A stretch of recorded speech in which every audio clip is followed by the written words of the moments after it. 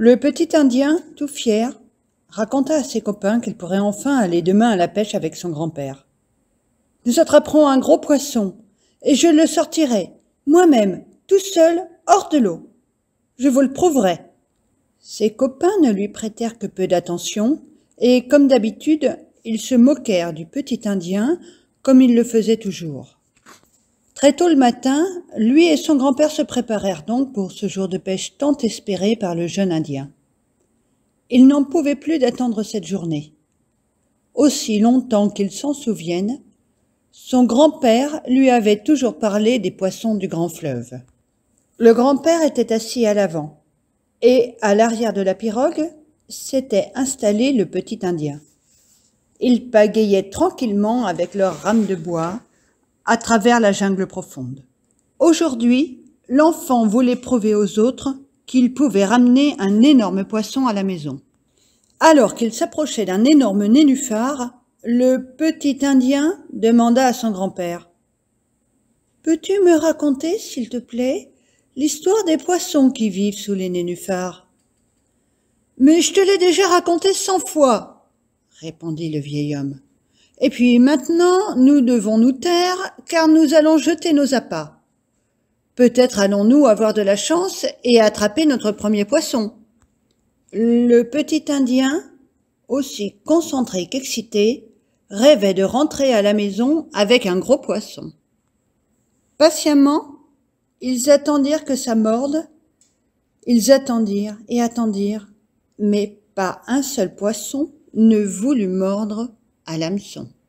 Ils pagayèrent plus loin et essayèrent à un autre endroit, mais ils n'eurent pas davantage de chance. C'était comme si le fleuve avait caché les poissons. Aucun ne voulait mordre. Le grand-père regarda le petit Indien et lui dit Ne sois pas triste. Nous allons maintenant lancer le filet et ensuite nous ferons une petite pause. Tu verras alors combien nous avons attrapé de beaux poissons. Oh oui, grand-père. Tout excité, le petit Indien bondit et aida son grand-père à lancer le filet dans l'eau. Seul un morceau de bois clair restait visible à la surface de l'eau. S'il venait à bouger d'un côté ou de l'autre, cela voudrait dire qu'un poisson s'était fait prendre dans les filets. Tendu, le petit garçon fixait le bout de bois. Le grand-père tira sur sa pipe et raconta enfin plein d'histoires sur les nombreux poissons qui vivaient sous les nénuphars. Plusieurs heures passèrent quand soudain plusieurs petits poissons sautèrent en l'air et disparurent à nouveau sous l'eau. Grand-père, pourquoi les poissons sautent-ils hors de l'eau? demanda le petit Indien tout excité. Son grand-père, d'une voix calme, lui répondit. Viens, allons relever le filet. Peut-être aurons-nous de la chance. Grand-père, tu vois le gros poisson dans le filet? dit le petit Indien en criant de joie. C'est le poisson des nénuphars. Il n'avait encore jamais vu d'Arwana, mais il en avait tant déjà entendu parler. Il n'est malheureusement pas pour nous, dit le grand-père. Nous devons le libérer afin qu'il puisse s'échapper. Mais grand-père, c'est le plus gros poisson que nous ayons attrapé. Tous les autres sont minuscules. Nous devons le garder. Tu sais combien c'est important pour moi de ramener un gros poisson à la maison. Viens, aide-moi vite à le libérer. Je t'expliquerai ensuite pourquoi il le faut. Avec précaution, le grand-père attrapa le poisson. Tu vois les minuscules alvins dans sa gueule? Ce sont ses petits. C'est un arwana dont je t'ai si souvent parlé.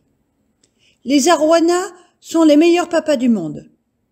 Afin qu'il n'arrive rien à leurs petits, ceux-ci habitent dans la gueule de leur papa pendant un mois, et pendant ce temps-là, personne ne pêche les arwanas, sinon les petits mourraient avec lui. Le grand-père mit alors le gros poisson dans les mains de l'enfant et lui dit Tu as maintenant le choix. Soit tu prends ta capture et tu montres à tes copains quel grand pêcheur tu es, soit tu laisses vivre le papa et ses petits. Un léger sourire aux lèvres, le petit Indien rejeta le gros poisson et ses petits dans l'eau. Le grand-père prit son petit-fils dans les bras et lui dit Je suis très très fier de toi. Aujourd'hui, tu es devenu un grand garçon.